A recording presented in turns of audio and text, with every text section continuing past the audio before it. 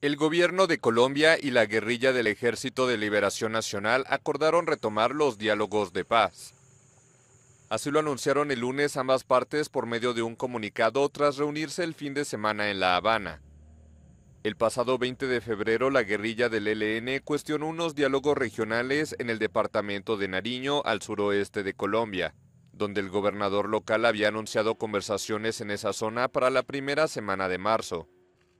La dirigencia del ELN señaló entonces que ese diálogo local estaba fuera del proceso nacional.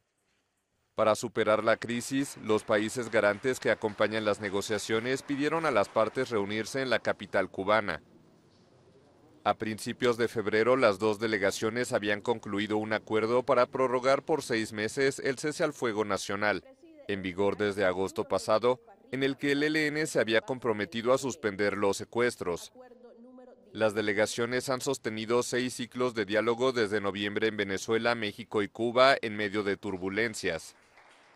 Los momentos de tensión han incluido paros armados en los que los rebeldes ordenan a miles de personas a confinarse, el secuestro que hizo el ELN del padre del futbolista de la selección colombiana Luis Díaz, liberado diez días después, así como enfrentamientos con otros grupos armados.